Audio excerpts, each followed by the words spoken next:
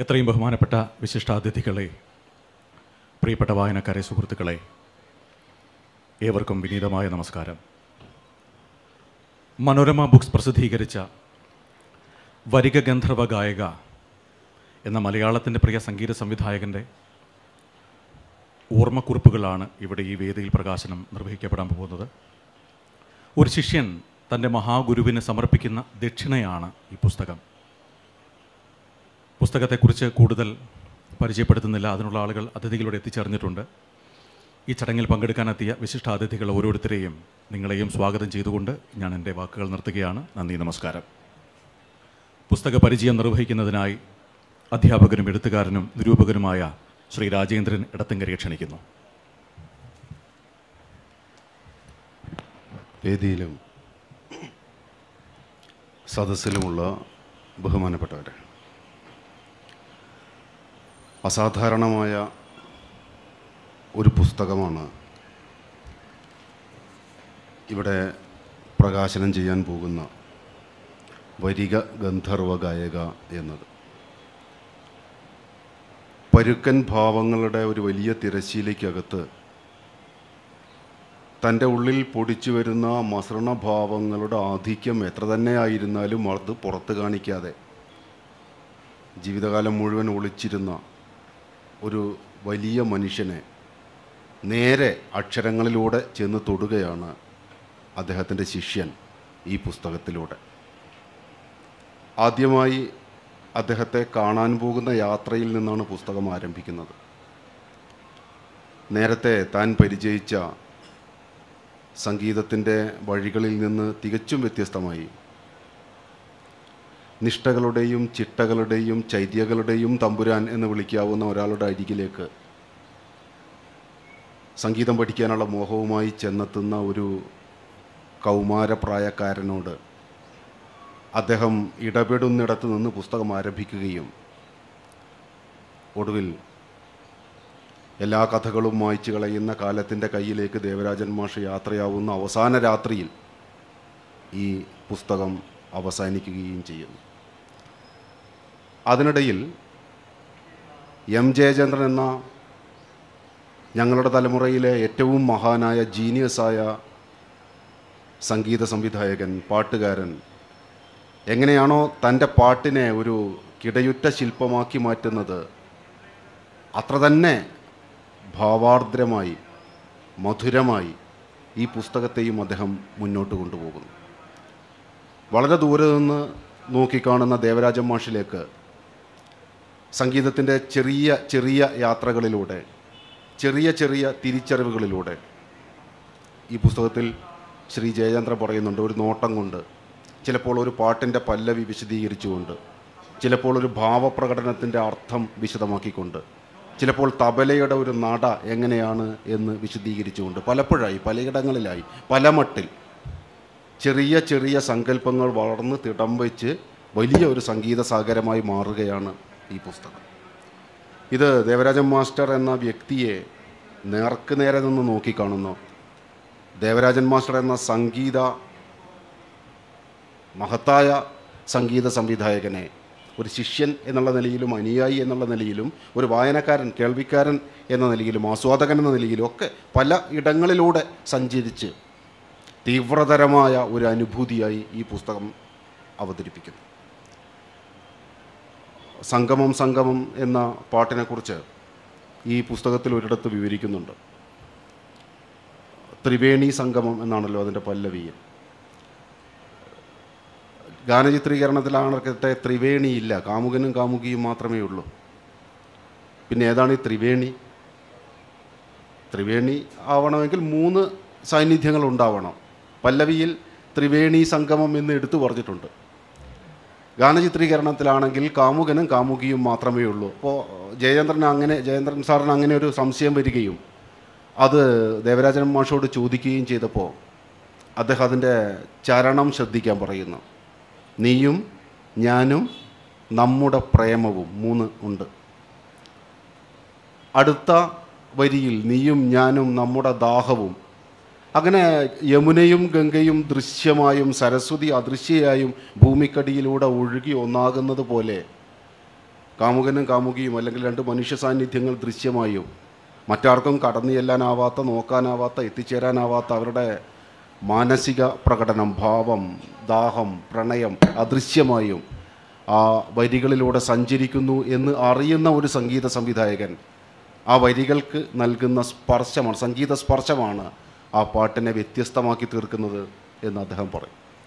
അങ്ങനെ ദേവരാജൻ മാഷ് സൃഷ്ടിച്ച കാലാധിവർത്തികളായ പാട്ടുകളിലൂടെ സഞ്ചരിക്കുകയും അദ്ദേഹത്തിന്റെ കർണാടക സംഗീത കൃതികളിലൂടെ ആലാപനത്തിലൂടെ അതിനകത്തെ അദ്ദേഹത്തിന്റെ സഞ്ചാരങ്ങളിലൂടെ സഞ്ചാരത്തിന്റെ പ്രവേഗങ്ങളിലൂടെ ഒക്കെ ഒരു ഇത്രമാത്രം വായനാസുഖമുള്ള ഒരു പുസ്തകം സംഗീതത്തെക്കുറിച്ച് സമീപകാലത്ത് എപ്പോഴെങ്കിലും എഴുതപ്പെട്ടിട്ടുണ്ടോ എന്ന് പോലും സംശയിക്കാവുന്ന വിധത്തിൽ ഒരു എം ജയചന്ദ്രൻ ഗാനം കേൾക്കുമ്പോൾ നിങ്ങൾ അനുഭവിക്കുന്ന ഒരു എം ജയചന്ദ്രൻ ഗാനം എങ്ങനെയാണോ മനസ്സിന് ചെന്ന് തൊടുന്നത് അതേ ഭാവ സൗന്ദര്യത്തോടു കൂടി.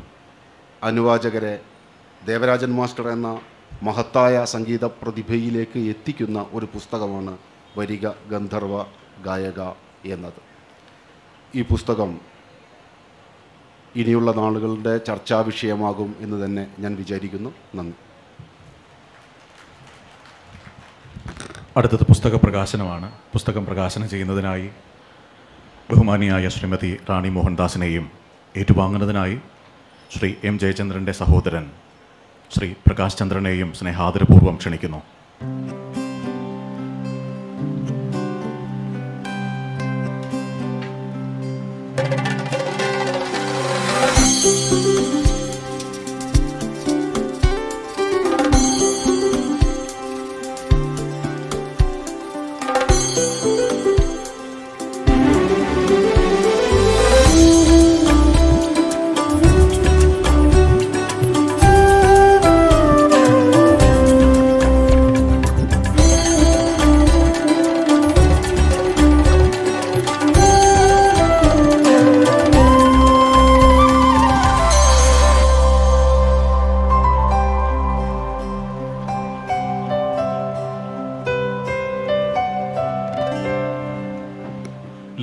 ലഘുപ്രഭാഷണത്തിനായി ശ്രീമതി റാണി മോഹൻദാസിനെ ക്ഷണിക്കുന്നു.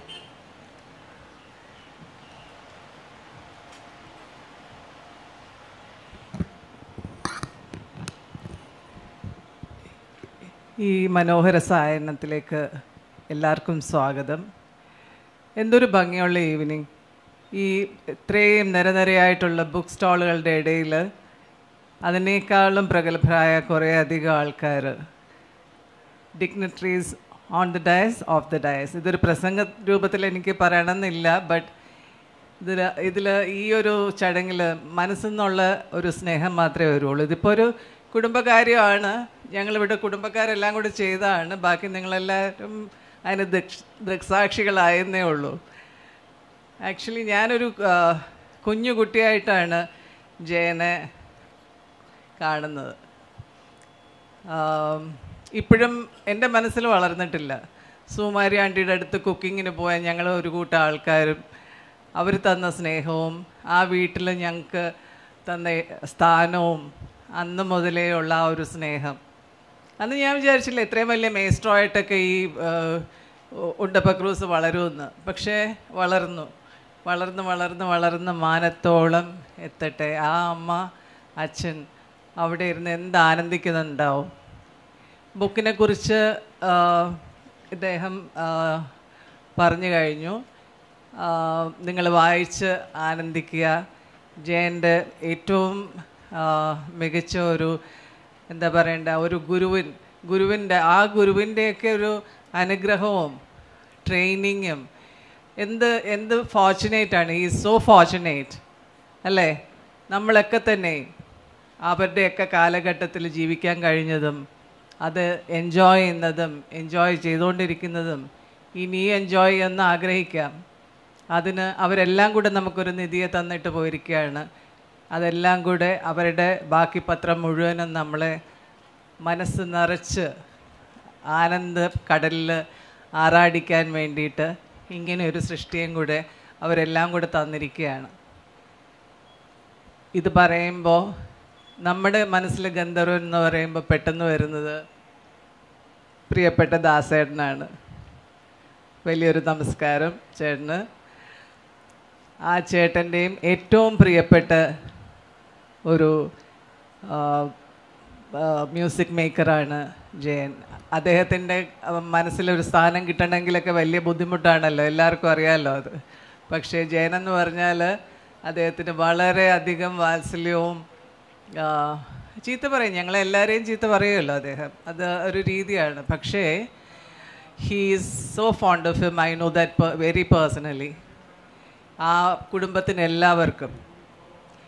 പിന്നെ പ്രിയ എന്ന് പറയുന്ന ഒരു better half that is is most എന്താ പറയണ്ടത് ഞാനൊരു ഫെമിനിസ്റ്റ് ഒന്നുമല്ല. പക്ഷേ ഒരു ഒരു ആ, അർദ്ധനാരീശ്വര സങ്കല്പത്തിൽ അങ്ങേയറ്റം വിശ്വസിക്കുന്നുണ്ട്.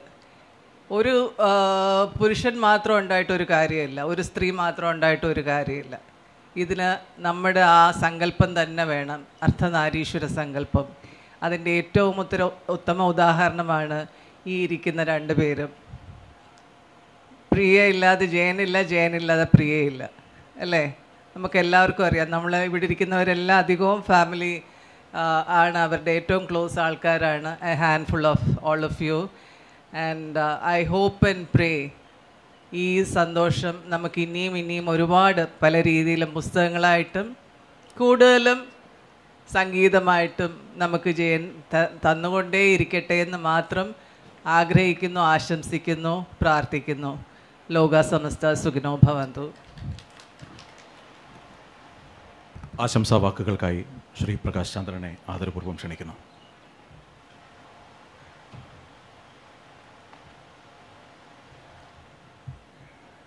വേദിയിലും മുൻവശത്തിരിക്കുന്ന എല്ലാ വിശിഷ്ട വ്യക്തികൾക്കും നമസ്കാരം. ഇന്നിവിടെ എത്താൻ പറ്റിയത് എനിക്ക് വളരെ സന്തോഷം തരുന്നു. ഒരു ഗുരുവിനെക്കുറിച്ച് ഗുരുവിനുമായിട്ടുള്ള ഇന്ററാക്ഷൻസിനെ കുറിച്ച് ഒരു ബുക്ക് എഴുതാൻ സാധിക്കുക എന്ന് പറഞ്ഞാൽ അത് ശിഷ്യന് വളരെ ആഹ്ലാദകരം ഒരു ഇറ്റ്സ് എ റിയൽ അച്ചീവ്മെന്റ് അപ്പോൾ അതിന് ഞാൻ വോണ്ട് ടു സേ ബിഗ് എന്താ എനിക്ക് കറക്റ്റ് വേർഡ് കിട്ടുന്നില്ല. ഇനിയും ഇതുപോലെ അക്സെപ്റ്റ് ചെയ്യപ്പെടുന്ന ബുക്കുകൾ എഴുതാൻ സാധിക്കട്ടെ. സംഗീതത്തിൽ ഇനിയും മേൽക്കുമേൽ അഭിവൃദ്ധി വരട്ടെ എന്ന് സർവേശനോട് പ്രാർത്ഥിക്കുന്നു. നമസ്കാരം. ശ്രീമതി പ്രിയ ജയചന്ദ്രനെ സ്നേഹപൂർവം ക്ഷണിക്കുന്നു.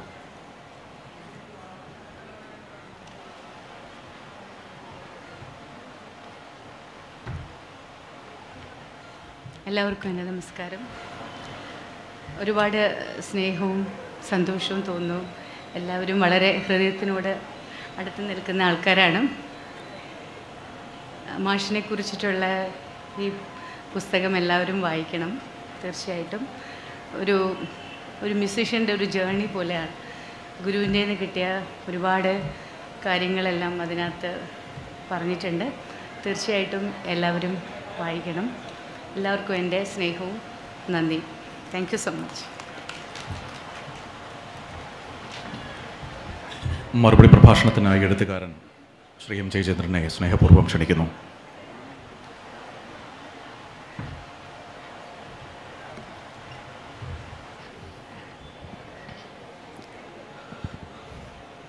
ബഹുമാനിയായ ശ്രീമതി റാണി മോഹൻദാസ് എന്റെ പ്രിയപ്പെട്ട ചേച്ചിയമ്മ എന്റെ ഏക സഹോദരൻ എന്റെ ജ്യേഷ്ഠ സഹോദരൻ ശ്രീ എം പ്രകാശ് ചന്ദ്രൻ ചേട്ടൻ. ഈ വരിക ഗന്ധർവ ഗായിക എന്നുള്ള ഈ പുസ്തകത്തിന്റെ ഏറ്റവും വലിയ പ്രേരക ശക്തിയായ അതിന്റെ പിന്നിലെല്ലാം എല്ലാമായ എന്റെ പ്രിയപ്പെട്ട അനിയൻ ശ്രീ രാജേന്ദ്രൻ എടുത്തുകാര ഇപ്പോൾ വെറും രാജേന്ദ്രൻ ഡോക്ടർ രാജേന്ദ്രൻ എടുത്തുകാര പിന്നെ എന്റെ പ്രിയപ്പെട്ട പ്രിയ പിന്നെ ഇവിടെ വേദിക്ക് മുന്നിലിരിക്കുന്നതൊക്കെ എന്റെ ഹൃദയത്തിൽ പ്രത്യേകം ഇടങ്ങളുള്ള ആൾക്കാരാണ്. പിന്നെ അല്ലാതെയും ഇവിടെ വന്നിരിക്കുന്ന എല്ലാവർക്കും ഈ സന്ധ്യാസമയത്ത് എന്റെ നമസ്കാരം. ദേവരായ മാസ്റ്ററായിട്ടുള്ള ഒരുപാട് ദിനങ്ങളും രാത്രികളും ഒക്കെ ഞാനിങ്ങനെ ഓർക്കുകയാണ് ഈ സമയത്ത്.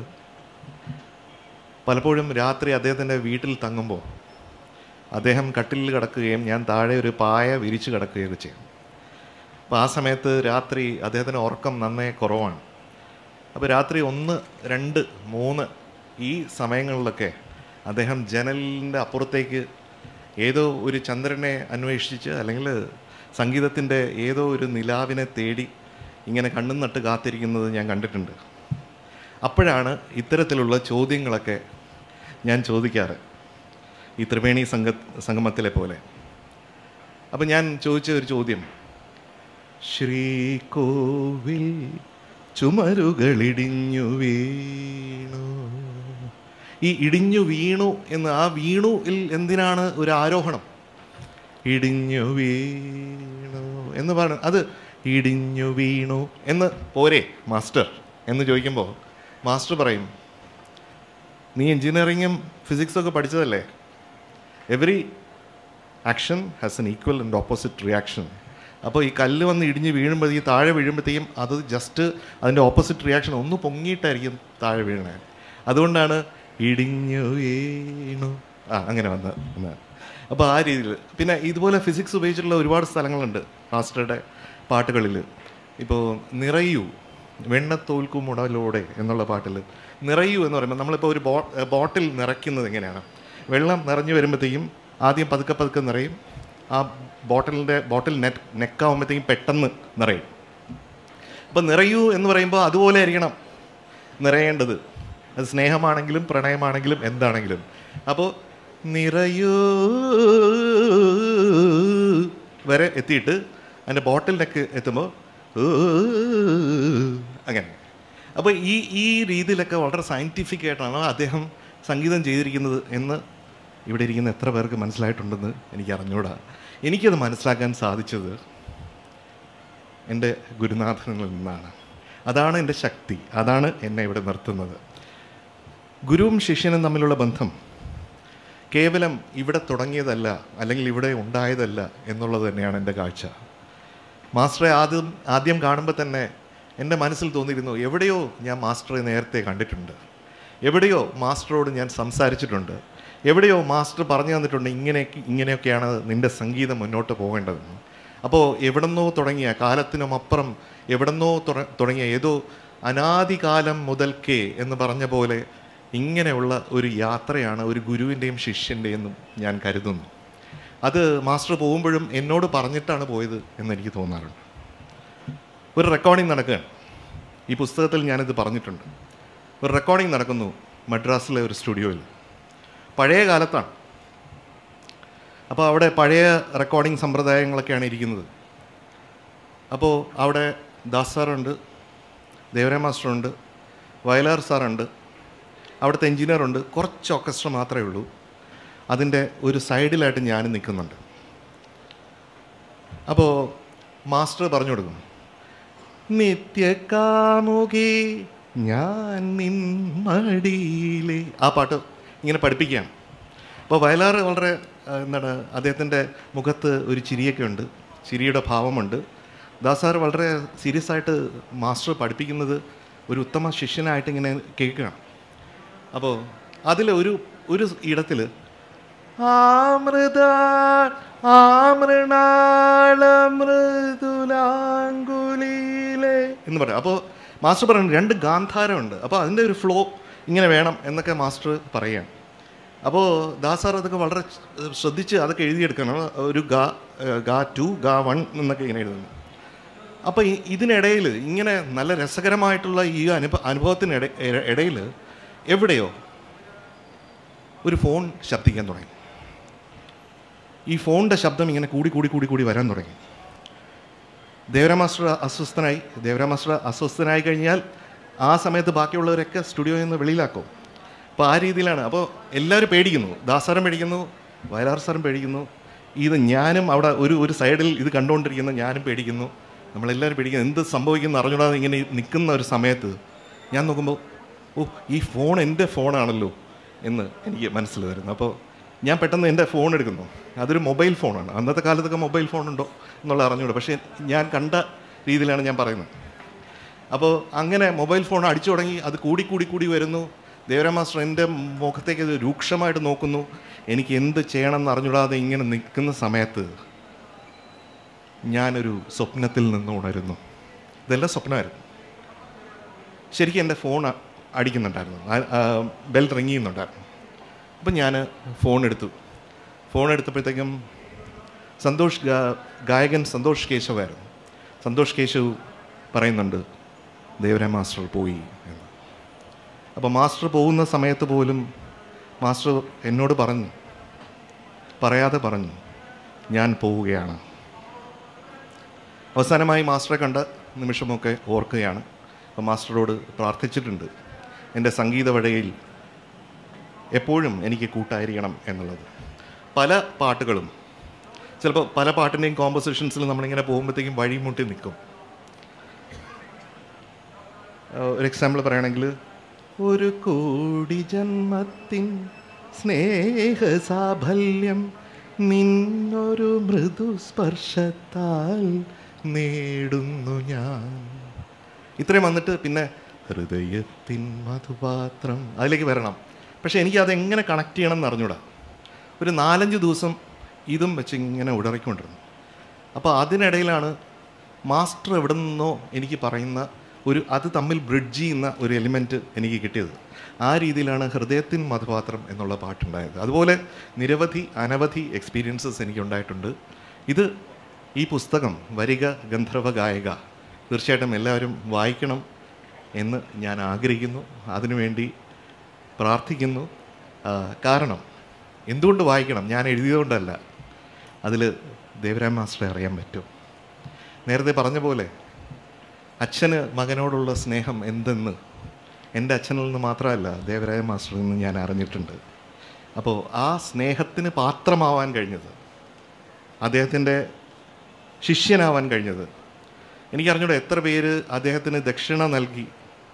എനിക്കിപ്പോഴും ഓർമ്മയുണ്ട് ഒരു വെറ്റിലയും പാക്കും ഒരു നൂറ്റൊന്ന് രൂപയുമായിട്ട് ഞാൻ അദ്ദേഹത്തിന്റെ കാൽക്കൽ സമർപ്പിച്ചപ്പോൾ ആ നൂറ് രൂപ എനിക്ക് തന്നിട്ട് ആ ഒരു രൂപ മാത്രം എടുത്ത ആളാണ്.